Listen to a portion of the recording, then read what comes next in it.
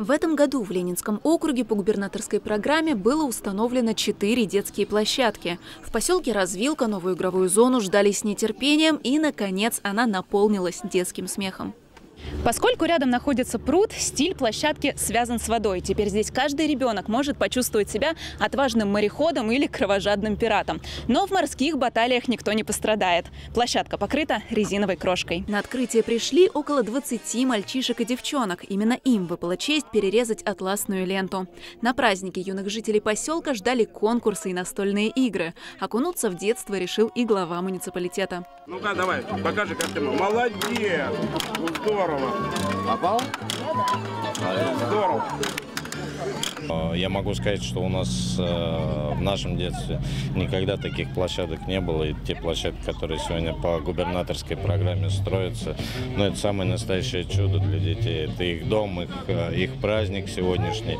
И я уверен, что здесь это место пустовать никогда не будет. Новое место отдыха – радость не только для детей, но и для их родителей. Оценить площадку пришла многодетная мама Ангелина Киропян.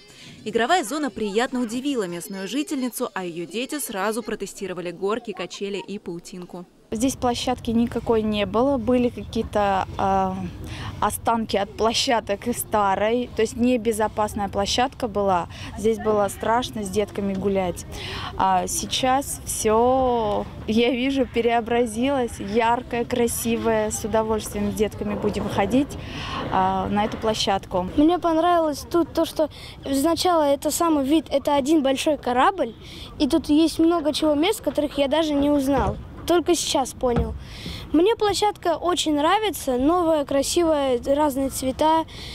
И мы с друзьями будем всегда приходить и играть. Водяной уехал, а дом остался. Еще одной точкой благоустройства стала детская площадка в Слободе. Ее оформили в сказочном стиле.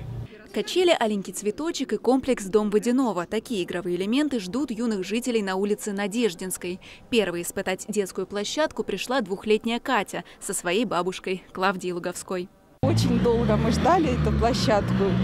Наконец-то дождались. Очень нравится нам и деткам нравится. И теперь только на новую, на нашу площадку. Где наша новая площадка? Нам, говорит, дядя построил. Очень нравится. Еще две площадки, установленные по губернаторской программе, находятся в деревне Мильково и на Малонагорной улице в Видном. И на этом благоустройство игровых территорий в округе не заканчивается. В данный момент, уже конец лета, мы начали ходить, встречаться с жителями. Сейчас порядка шести адресов обошли, да, собираем пожелания и будем формировать программу на следующий год. Муниципалитет растет, с каждым годом здесь появляются все новые юные жильцы. Поэтому так важно обустроить для них комфортную городскую среду. А главной оценкой качества проведенных работ станет звонкий детский смех. Александра Столярова, Александр Логинов, Екатерина Давлятова. Видно этого.